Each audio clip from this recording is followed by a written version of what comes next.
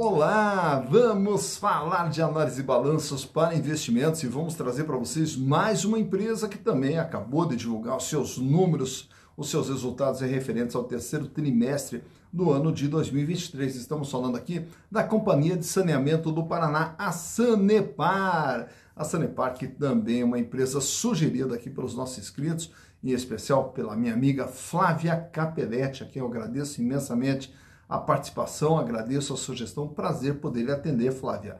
E também, caso vocês queiram outras empresas, é fácil, basta entrar aqui, ó. Canal Silas Degraf, manda sua sugestão, aproveita, faça inscrição, dá o like e venha junto conosco construir e repartir conhecimentos. Também quero aproveitar e mandar um grande abraço para o meu amigo, o doutor João Vítola, lá da Quanta Diagnósticos por Imagem, e para toda a equipe lá da Quanta, também uma empresa que é uma referência na área de saúde aqui dentro do estado do Paraná. Quanta Diagnósticos por Imagem. João Vítola, um grande abraço para você, para sua família e muito obrigado pelo carinho de sempre.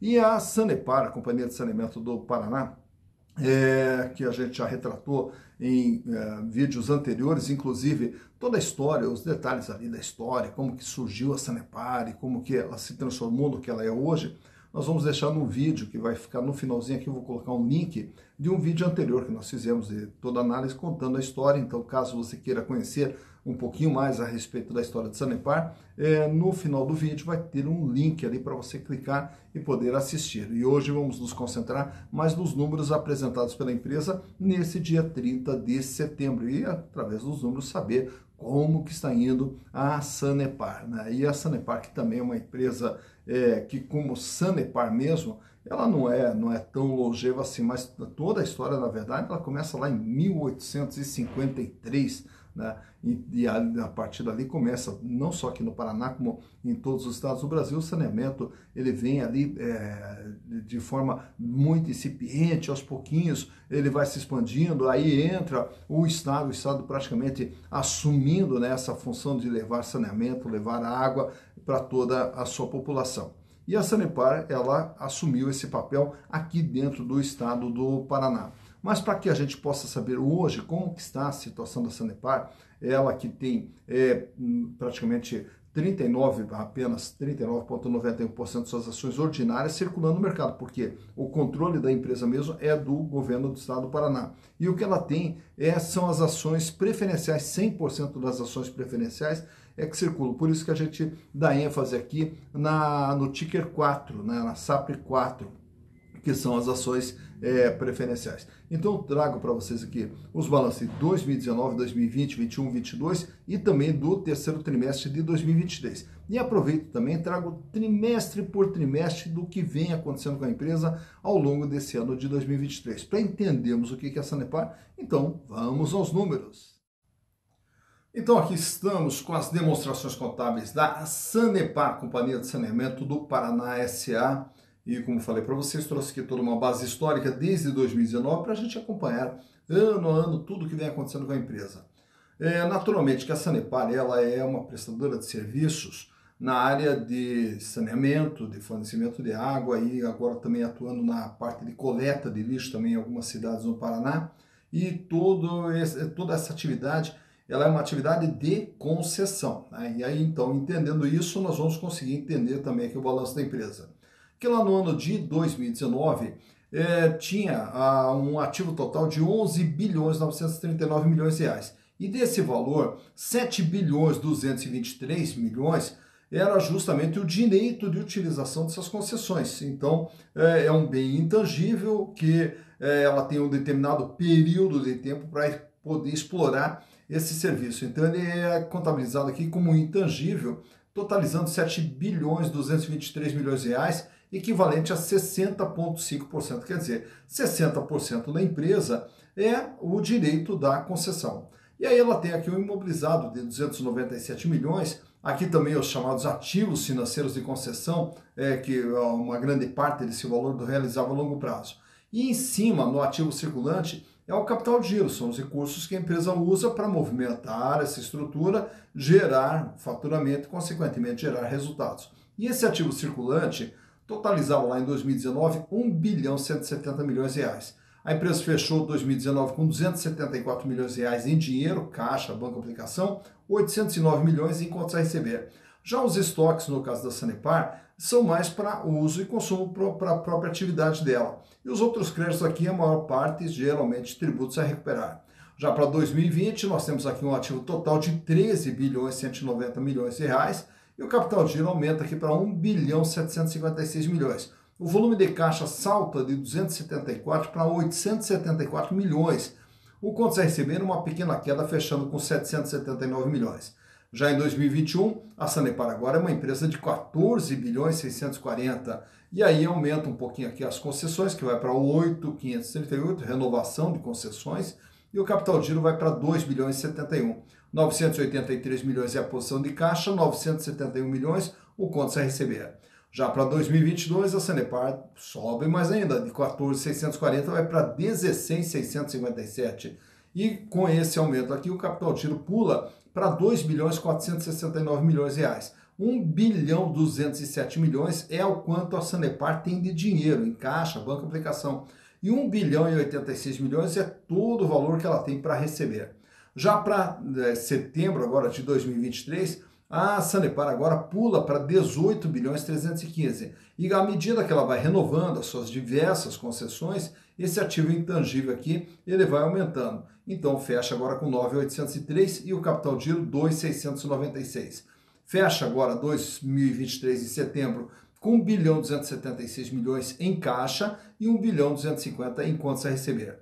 Olhando agora a parte do passivo, nós vamos encontrar aqui as dívidas de curto prazo no passivo circulante, dívidas de longo prazo no passivo não circulante e o total do endividamento, que lá em 2019 era de 5 bilhões 765 milhões, equivalente a 48,3% de todo o patrimônio da empresa, que seria o tamanho da dívida. Já no ano de 2020, a dívida ela sobe aqui nominalmente para 6 bilhões 247, porém o peso dela ficou um pouquinho menor, 47,4%. Reparem que a maior parte da dívida é de longo prazo. Já no ano de 2021, a dívida sobe para 6,814 em valores nominais, porém o peso cai mais um pouquinho, 46,5. Já no ano de 2022, fecha com 7 bilhões 870 milhões de dívida, que em comparação com todo o ativo da empresa passa a representar 47,2%.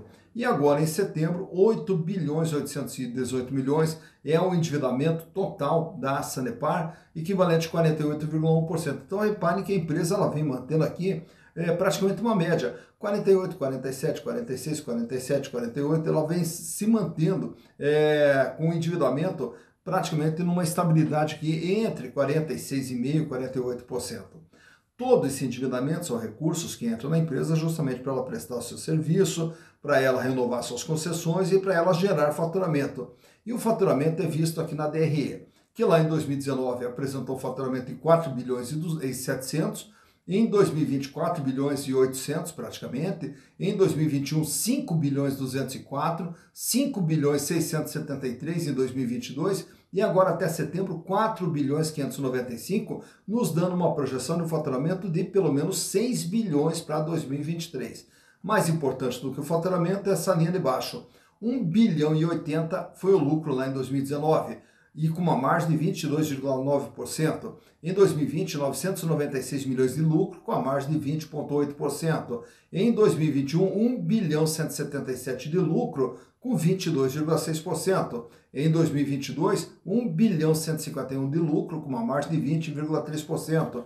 E agora, em 2023, vem eh, com lucro até setembro de 1 bilhão 138, o que também nos dá uma projeção de um lucro de pelo menos 1 bilhão e meio para 2023, com uma margem de 24,8%. E essa margem toda aqui, olhando aqui os números da empresa, vamos ver que o custo que era de 39, 40, 39, 42, 40 vem se mantendo estável, a despesa 26, 27, 24, 26, 21%. Então, devido até essa redução da despesa operacional, é que a empresa conseguiu aumentar sua margem, consequentemente também o seu lucro. E nesse quadro aqui trago para vocês também o trimestre por trimestre o que vem acontecendo com a Sanepar. Começar lá pelo primeiro trimestre de 2023, quando ela apresenta o faturamento de 1 bilhão 453 no segundo trimestre 1 bilhão 536, no terceiro trimestre 1 bilhão 605, totalizando 4,595 de, eh, de faturamento ao longo desse ano. Já o lucro sai com 319 milhões, 422 milhões, recua um pouquinho para 396, fechando com 1 bilhão 138. E a margem 22, 27, 24, fechando com uma margem de 24,5%. Então por aqui você vê também trimestre por trimestre de 2023 como que vem sendo o desempenho da Sanepar. Quero aproveitar aqui e trazer para vocês esses quadros, esses é, gráficos mostrando a situação financeira da Sanepar. Ah, o primeiro gráfico que nós temos ali é a liquidez geral, e a liquidez geral mostra a capacidade de pagamento que a empresa tem em relação às suas dívidas de curto, médio e longo prazo. E ali sai com índice de 0,77, sobe para 0,80, 85, sobe para 0,93 e praticamente estável agora em 2023 com 0,92. Isso quer dizer o quê? Para cada um real de dívida que vence no curto, médio e longo prazo, a Sanepar dispõe de 92 centavos.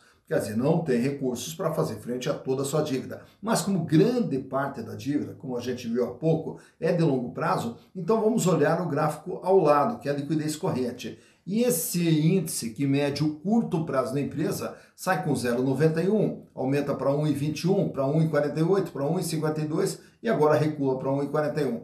Para cada um real de dívida que vence no dia a dia, a Sanipar dispõe de R$ 1,41 paga, sobra tranquila a situação financeira da empresa e mantendo praticamente uma estabilidade ali entre 1,40 e 1,50 desde 2021. Já nesse outro quadro aqui nós temos o endividamento e vamos mostrar aqui como que vem se comportando e o tamanho da dívida da Sanepar, como a gente já viu há pouco também no balanço sai com 48,3, cai para 47,4, cai para 46,5 e aí volta a subir 47,2 e agora 48,1. De tudo que a Sanepar tem, ela deve 48,1%. Já nesse quadro aqui temos também os índices de rentabilidade, a começar pela margem líquida que a gente viu há pouco na DRE. E o que, que vem a ser essa margem líquida? É quanto sobra depois que a empresa paga seus custos, suas despesas, resultado financeiro, impostos, sobrava lá em 2019 22,87%. A margem cai para 20,76% em 2020, sobe para 22,63% em 2021, volta para os 20,30% em 2022 e agora sobe para 24,8%. Já o gráfico do meio é a rentabilidade do ativo, que é o retorno que a empresa tem em relação a tudo aquilo que ela investe dentro do seu patrimônio. E esse índice sai com 9,05, cai para 7,5, sobe para 8% e em 2022 fecha com 6,9%. O terceiro gráfico, à direita, ele está relacionado aos acionistas. E os acionistas, é, através dos lucros gerados pela Sanepar, tiveram um ganho de 17,5% lá em 2019, 14,3% em 2020, 15% em 2021 e 13,1% no ano de 2022. E ao falarmos em acionistas, nesse quadro aqui trago para vocês também alguns indicadores relacionados às ações da empresa, onde vamos ver ali, ali que a, o valor patrimonial de uma ação da Sanepar, da 4, é, o valor dela é R$ 6,28. Porém, ela é comercializada, o valor de mercado, a R$ 5,20. Então repare que o valor de mercado da ação está abaixo do seu valor patrimonial, o que nos dá um PVP, preço por valor patrimonial, de 0,83, mostrando que as ações da Sanepar são vendidas com deságio de 17%. Lucro por ação, 99 centavos nos últimos 12 meses, o que dá uma rentabilidade para o acionista de 19,04%. Dividendos por ação, 28 centavos, o que ela já distribuiu nesse ano de 2023, o que nos dá um yield da empresa, que seria um retorno de caixa, de 7,15%. Ah, lembrando também que a Sanepar ela tem um payout médio de 31,77%. Isso quer dizer o quê? De todo o lucro da empresa, na média, ela pega 31,77% e distribui para os seus acionistas. A relação preço barra lucro fecha em 5,25. Isso quer dizer o quê? Que ao comprar ações da Sanepar, em 5 anos e pouco ali você tem o retorno dos seus investimentos através dos lucros gerados pela empresa. Free float 100% das ações preferenciais circulam livremente no mercado. Porém, as ordinárias, 39,92% dessas ações estão circulando livremente fora da mão do controlador, que é o governo do estado do Paraná. E o tag along da Sanepar é 100%. Isso quer dizer que se ela for vendida, o que é difícil, é, os acionistas minoritários terão o mesmo tratamento que for dado aos majoritários. E também temos esse gráfico aqui extraído do Google, mostrando como que vem se comportando o valor das ações da SAPRE 4, da preferencial. E ela sai lá em 2018 com valor de 3,43. E ainda em 2018 ela dá uma escalada, chega até 4,50. Ali já no ano de 2019 eh, até o começo de 2020, aí ela dispara, chegando a R$ 7,33.